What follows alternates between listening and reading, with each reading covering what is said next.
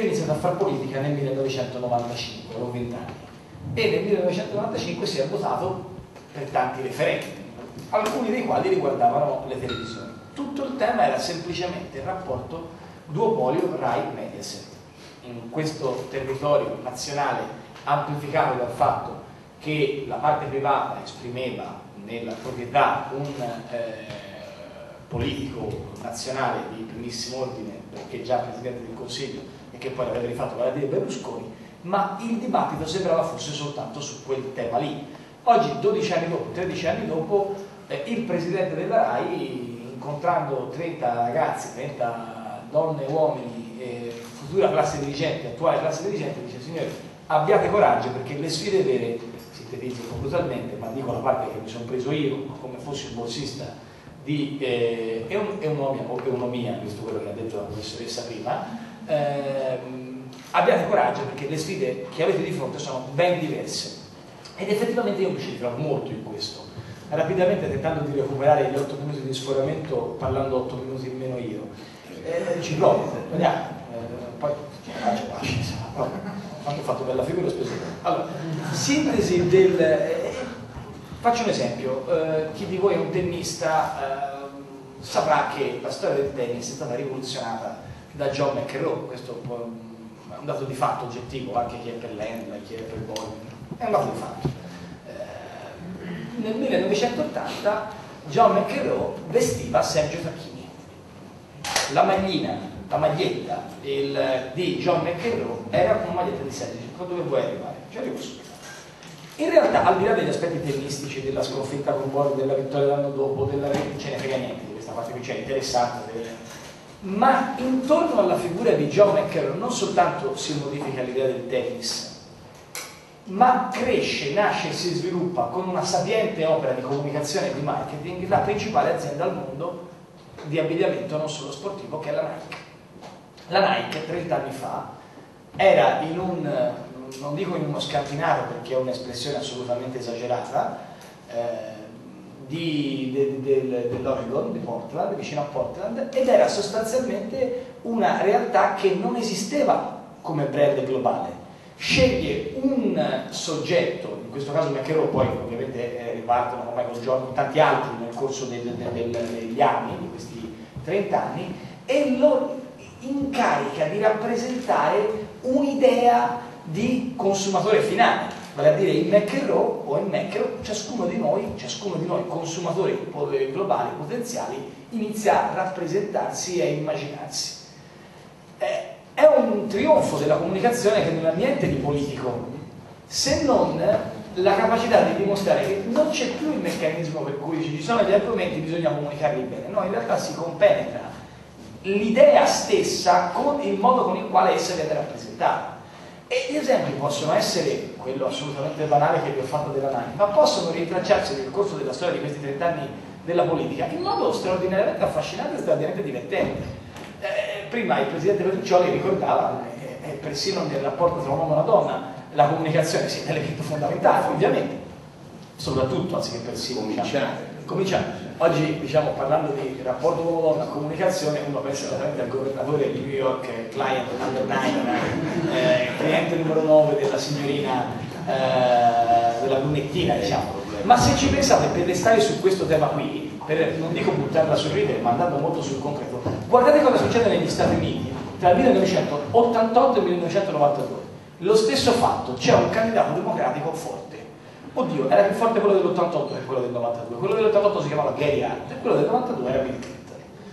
Tutti e due si fanno in qualche misura beccare con una scappatella. Nel caso di Clinton la storia dimostrerà che diciamo, l'hanno beccato con una, ma diciamo, Donna Rice per Gary Hart, Jennifer eh, Flower o una delle, delle, delle tante di Bill Clinton. Bene, il modo con il quale il candidato annuncia il fatto e chiede scusa, nel caso di Clinton, ai cittadini, alla moglie, ai sì, non era già stato eletto Clinton.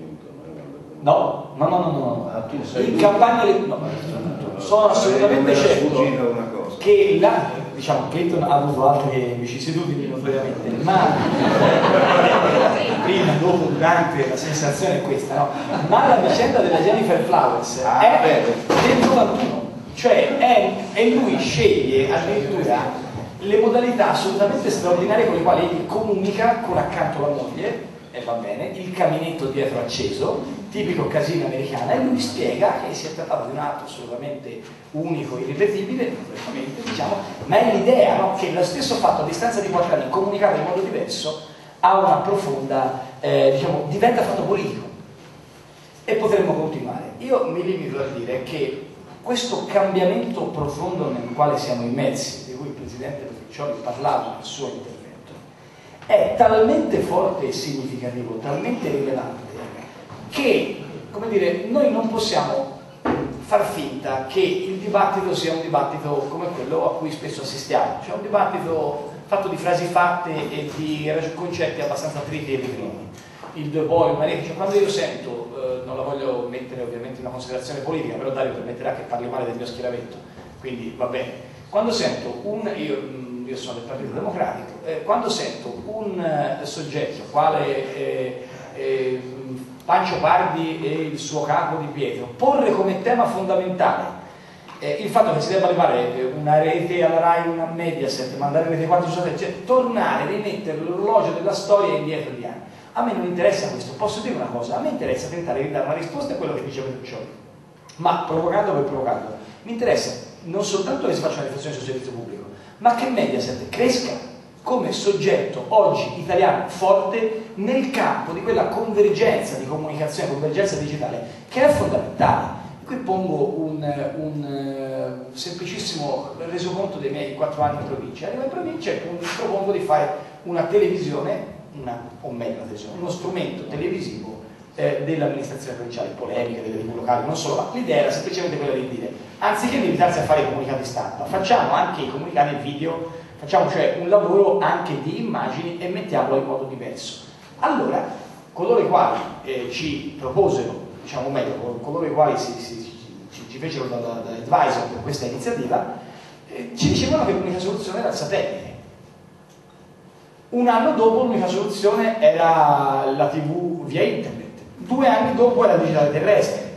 Cioè, ha ragione il Presidente Petruccioli a dire, signori, non è un problema di contenitori, ma è un problema di contenuti. Allora io sono affezionato che da un lato il mio servizio pubblico competa con la BBC, anzi, possibilmente sia in grado di superare la BBC.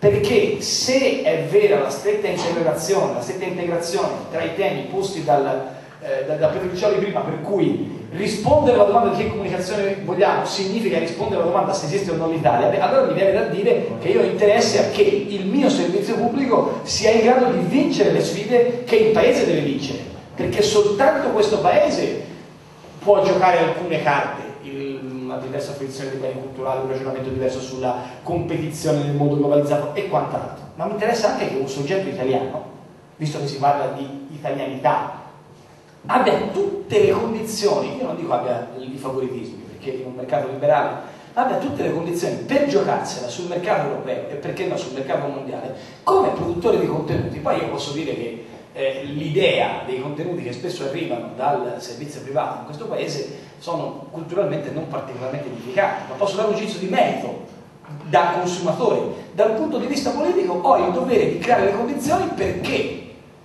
nessuno vada a rompere le scatole a un soggetto che lavora nel mercato internazionale e globale. E, e questo accade, eh, mi avvio rapidissimamente alla conclusione, in un contesto nel quale Dario lo richiamava al tema delle nuove tecnologie. Eh, l'esplosione delle nuove tecnologie è assolutamente affascinante. Quando nel 95 noi votavamo per il referendum, io ero il primo voto, no, in realtà era il secondo, perché avevo votato già nel 94, insomma era uno dei primi voti che davo, quello del referendum, il referendum sulla Mammi, eh, la legge del 90 che veniva ricordata prima dal Presidente, eh, in realtà nel 95, proprio in quei giorni, due ragazzini sbarbatelli di Stanford creavano eh, in, in Silicon Valley Yahoo e due ragazzini sbarbatelli di Stanford quasi in competizione creavano Google, Yahoo qualche mese prima, e Google qualche anno dopo. Rispetto ad allora, mondo è totalmente da un'altra parte. Google ha rivoluzionato non soltanto diciamo, l'idea della comunicazione, anche l'idea della comunicazione. I nostri, il bambino di 7 anni, il mio bambino di 7 anni, le ricerche le fa con Google